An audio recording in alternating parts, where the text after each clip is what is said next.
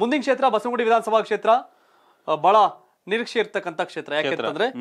ಇಲ್ಲಿ Congress BJP JDS app ಚತುಷ್ಕೋನ ಸ್ಪರ್ಧೆ.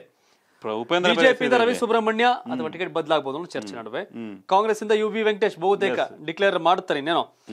ಜೆಡಿಎಸ್ ಇಂದ ಹರ್ಮನಶಂಕರ್ ಘೋಷಣೆ ಆಗಿದೆ ಎಪಿ ಇಂದ ಭಾಸ್ಕರ್ ರಾವ್ ಕೆಆರ್ಎಸ್ ಇಂದ ಜೀವನ್ ಪ್ರಜಾಕೀಯಿಂದ ನಟ ಉಪೇಂದ್ರ ಉಪೇಂದ್ರ. ಉಪೇಂದ್ರ. ಕಂಟೆಸ್ಟ್ ಮಾಡ್ತಾರೆ ಯಾಕೆಂದ್ರೆ ಇಲ್ಲಿ ಬ್ರಾಹ್ಮಣ ಸಮುದಾಯ ಜಾಸ್ತಿ ಇದೆ. ಉಪೇಂದ್ರ ಕೂಡ ಬ್ರಾಹ್ಮಣ ಸಮುದಾಯಕ್ಕೆ ಸೇರಿದವರು. ಇಲ್ಲಿ ಏನಾರ ಹಿಂಗೆ ಕಡಿಮೆ ಸ್ಪ್ಲಿಟ್ ಆಯ್ತವಲ್ಲ ನಾನು ಯಾವ್ದಾರ ಗ್ಯಾಪ್ ಅಲ್ಲಿ ಗೆದ್ದು ಬಿಡ್ಬೋದು ಅನ್ನೋ ಲೆಕ್ಕಾಚಾರ ಇದಂಗೆ ಕಾಣ್ತಾ ಇದೆ.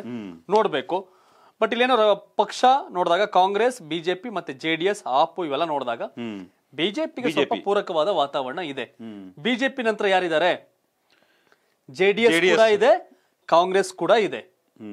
ಭಾಸ್ಕರ್ ರಾವ್ ಪಾಟೀಲ್ ಸೇರಿದಾಗಿದ್ದಂತ ಜೋಶ್ ಕಾಣ್ತಾ ಇಲ್ಲ ಎಪಿನ ಹಂಗ ನೋಡ್ರೆ ಭಾಸ್ಕರ್ ರಾವ್ ಗೆದ್ದೆ ಬಿಟ್ಟೆನೋ ಮಟ್ಟಕ್ಕೆ ಹೋಗ್ಬೇಕಾಗಿತ್ತು. ಹೋಗ್ಬೇಕಾಗಿತ್ತು. ಅದ್ಯಾಕೋ ಆ ಜೋಶ್ ಕಾಣ್ತಾ ಇಲ್ಲ. ನೋಡ್ಬೇಕು ಆ ಕಾಡಕ್ಕೆ ಉಪೇಂದ್ರ ಅವ್ರನ್ನ ಯಾವ್ದೇ ಕಾರಣಕ್ಕೂ ನಮ್ಮ ಬರೀ ಸೋಷಿಯಲ್ ಮೀಡಿಯಾ ಬರ್ತಾರೆ ಲೈವ್ ಅಲ್ಲಿ ಮಾತಾಡ್ತಾರೆ ಗ್ಯಾರಂಟಿ ಇಲ್ಲ.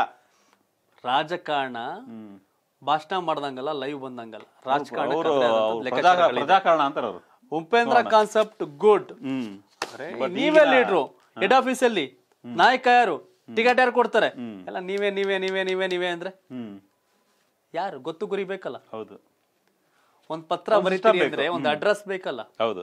ಅಲ್ವಾ? ಹ್ಮ್. ಸೊ ಹಾಗಾಗಿ ಇಲ್ಲಿ ಹಾಗೆ ನೋಡಿದ್ರೆ ಬಿಜೆಪಿ ಕಾಂಗ್ರೆಸ್ ಜೆಡಿಎಸ್ ಆಪ್ ಇದಾಗಿದೆ. ಕೆ ಆರ್ ಎಸ್ ಕೂಡ ಫೈಟ್ ಮಾಡುತ್ತೆ. ಫೈಟ್ ಮಾಡುತ್ತೆ. ಪ್ರಜಾಕೀಯ ಮುಂದೆ ನೋಡಬೇಕು. ಸದ್ಯಕ್ಕೇನು ಇಲ್ಲ ಅಲ್ಲಿ. ಕರ್ನಾಟಕ ಟಿವಿ ಫೆಬ್ರವರಿ ಸರ್ವೆ ಪ್ರಕಾರ ಬಿಜೆಪಿ ಈ ಒಂದು ಕ್ಷೇತ್ರದಲ್ಲಿ ಮುನ್ನಡೆಯನ್ನ ಕಾಯ್ದುಕೊಂಡಿದೆ. ಮನೆ ಮಂದಿಯೆಲ್ಲ ಪ್ರತಿದಿನ ಜೀನಿ ಮೊಳಕೆ ಕಟ್ಟಿದ ಕಾಳಿನ ಪೌಡರ್ ಆಹಾರ ಸೇವಿಸಿ ಡಬಲ್ ಎನರ್ಜಿ ಪಡೆಯಿರಿ. ಯಾಕಂದ್ರೆ ಮೊಳಕೆ ಕಟ್ಟಿದ ಕಾಳಿನ ಆಹಾರ ದೇಹಕ್ಕೆ ಹಂಡ್ರೆಡ್ ಪರ್ಸೆಂಟ್ ಪೋಷಕಾಂಶ ಒದಗಿಸುತ್ತೆ.